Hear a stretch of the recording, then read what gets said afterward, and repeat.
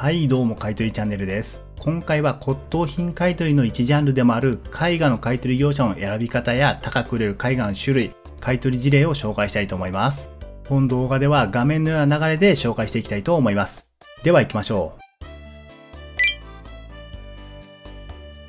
まず絵画の厳密な定義なんですけど平面上に表現したものの総称です。つまり画用紙はもちろんなんですけど、アスファルトや壁の落書きに関しても絵画と呼べます。ですが、買取業者が一般的に絵画として買取を行っているのは、額縁に入っている絵の作品です。もちろん額に入ってなくても絵画ではあるんですけど、劣化を考えると額縁に入った状態で保管されていることがほとんどです。そして絵画の買取価格なんですけど、基本的には油彩や水彩画といった画風や作風に限らず高く売れる可能性があります。というのも、高い絵画って素人が上手に見えるかは別問題で、基本的には高名な作家の作品であれば、どんな絵画でも高い価値があります。だから、例えば極端な例ではあるんですけど、一見子供の落書きにしか見えない作品の絵画であっても、それが著名人が描いた作品であれば価値は高いです。絵画の作品って興味がない人が見れば、ほんまにそんな感じなんですよ。なので、絵画が見つかっても素人目で価値がないと断定するのは絶対にやめておいた方がいいです。素人でも可能な絵画の価値を判断する方法というのがありまして、判断するポイントはいくつかあります。それがサイン、額縁、鑑定証書です。まず絵画で最も値段を左右するのが高名な作家の作品かどうかです。なので、絵画があれば人物を特定できなくてもいいので、サインの有無を確認しましょう。サインを確認できれば高い可能性が上がります。次に額縁の素材です。あくまでも参考程度ではあるんですけど、高名な作品ほど額縁はより高価なしっかりしたものを使用される傾向にあります。なので、額縁が豪華絢爛であるほど作品自体も高い可能性が高くなります。次に鑑定書の有無です。これは鑑定機関によって鑑定されたことを示す証明書のことなんですけど、作品とセットでついていれば、それだけで高額な作品の可能性がぐっと上がります。また、鑑定書と似た書類として、保証書というものがあるんですけど、そちらがセットで揃っていても高価な作品という可能性は上がります。簡単に素人でも確認できるのはこのあたりですね。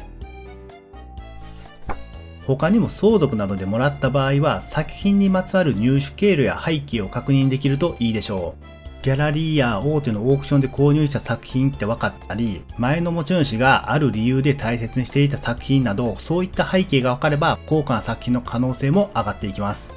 とまあこんな感じにね、価値を判断するポイントを紹介してきたんですけど、たとえ鑑定書がない安っぽい作品に見えても、安い絵画と断定できるわけではないです。なので気になる絵画があって売る気はないけど価値を調べたい。そんな場合なんですけど、素人でも可能な価値を調べる方法としておすすめなのが買取業者へのメール査定です。業者のサイトの問い合わせフォームから写真を送って相談をすれば、概算にはなるんですけど、買取相場を教えてもらうことができます。ただ、買取業者によってはメール査定のサービスに対応してないということも全然あるので、相談目的であれば参考にさせてもらっているサイトで紹介されている福ちゃんや日光堂に相談するのがおすすめです。少なくてもこの2社であれば投稿時点では確実にメール査定のサービスに対応していますので、概要欄に2つの業者のリンクと参考にさせてもらっているサイトのリンクも貼っておきます。そしてメール査定を利用する場合なんですけど、どんな写真を撮影すればいいかというポイントがありまして、絵画の種類によって変わってはくるんですけど、重要なのは主に3点です。一つは絵画の前景。付属品や保存箱から絵画を出して並べて撮影すれば OK です。ただし、下手に触ると作品を傷つけてしまうので、額縁から出す必要はありません。次に絵画のサインの撮影。作品にサインが確認できれば、業者が確認できるようにアップで撮影しましょう。見つからなければ撮影しなくても大丈夫です。そして鑑定書の撮影。作品とともに書類があれば撮影しましょう。もし鑑定書ではなく保証書であっても書類があればとりあえず撮影してください。とりあえずこの3点を押さえて撮影して査定を依頼すれば OK です。もしも追加必要な撮影があれば業者側から返信が来るのでその時は指示に従って追加の写真を送れば OK です。では次に絵画を売却する業者の探し方についてなんですけど、骨董品や美術品の買い取りを専門的に行っている業者に依頼すれば OK です。特に絵画に関しては絵画作品を専用に買い取りしている業者もいるくらいなので、より専門性が高く実績のある業者に依頼した方が安心できます。ただし、買い取り業者の中には絶対に依頼をしてはいけないような悪質業者もいて、画面の動画でおすすめの探し方を含めて解説していますので、そちらもね、買い取りの際にはぜひ参考にしてください。概要欄にね、リンクも貼っておきます。美術品や骨董品関連の買い取り業者ってね、本当に悪質な業者も多いので、被害に遭わないためにも絵画の買い取りを検討しているなら、必ず動画を確認して業者探しをしてください。では、絵画にどれくらいの買い取り価格がつくのか参考例を紹介します。今回は日光堂という買取業者のサイトで紹介されている買取相場を引用させていただきました。絵画の種類や状態などによって変わってはくるんですけど、やはり作家物の絵画に高い価値がつくということがわかります。作家によってね、もちろん価値は変わって歴史的にも有名であったり、宗像志向のような高名な作家の作品はやはり高い傾向になるということがわかります。一方で、絵が上手いけど作家物ではない絵画が価値がないのかと言われるとその通りです。作家物でない絵画が全て安いとは言わないんですけど、絵画といった美術品は画風や作風よりも、どんな作家の作品かどうかっていうのがね、一番の価値の高さの決め手になってくるんですよ。とはいえ、絵画の作家の数っていうのも膨大であって、どの作家の作品が高いのか、作品は贋作かどうかの判断っていうのは素人には困難ですし、稀にサインがない作品でも実は作家物の絵画だったという可能性もあります。なので気になる絵画があれば素人判断で昔と決めずにとりあえず無料査定してもらうっていうのがおすすめです。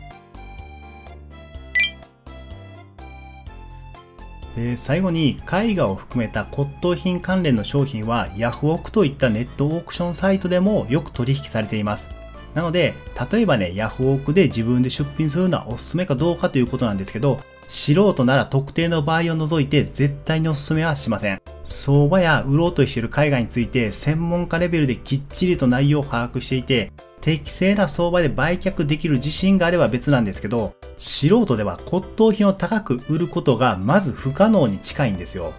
考えてもらったらわかるんですけど、高額な骨董品を知識のない素人から買いたがる人はまずいないんですよ。相場とかけ離れて安く出品していれば売れる可能性っていうのはあるんですけど、そうなってくると買取業者に売却した方が結果としては利益が高いってなってしまうんですよ。なので、絵画を自分で出品するのは知識がなければ基本的にはお勧めしません。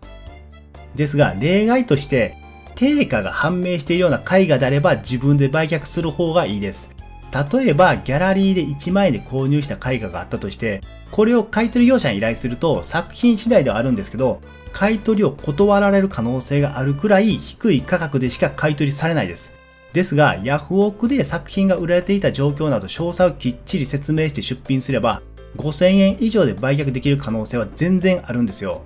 もちろん状態や物にもよるんですけど、定価の判明しているものは買取業者に売るよりも自分で出品した方がはるかに高い金額で売却することが可能です。